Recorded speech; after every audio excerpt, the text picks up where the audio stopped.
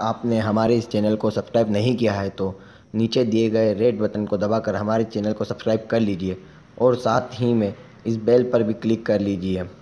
क्योंकि अगर आप अभी एक ऐसा ऐसा करते हैं तो और भी कई रोमांचक चटपटे और रहस्यमय वीडियोस हम आप तक पहुँचा सकेंगे। यहाँ जानवरों को अपना दूध पिलाती है महिला है। वायरल हो रही है ये फ़ोटो। सोशल मीडिया पर फ़ोटो वायरल हो रही है, जो मिशलिन सेफ़ विकास खन्ना ने इंस्टाग्राम और ट्विटर पर अपलोड की है। जिसमें एक महिला हिरन के बच्चे को माँ की तरह दूध पिला रही है।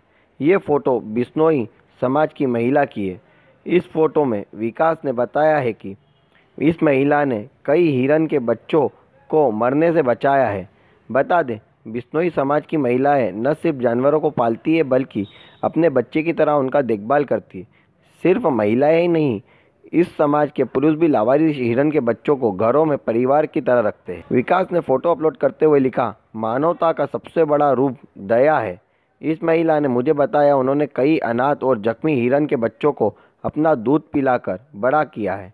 विकास ने फ़ोटो राजस्थान के जोधपुर के पास क्लिक की है। इस फ़ोटो को करीब अठाईस हज़ार लोग लाइक कर चुके हैं। बिश्नोई समाज का नाम भगवान विष्णु के नाम पर पड़ा है।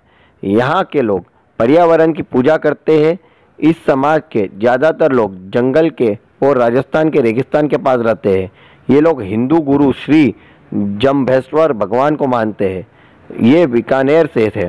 बता दें, प्रसिद्ध वन संरक्षण आंदोलन जिसको चिपको मूवमेंट भी कहा जाता है, इसमें विष्णोई समाज का बड़ा हाथ है। तो दोस्तों, हमारी वीडियो कैसी लगी?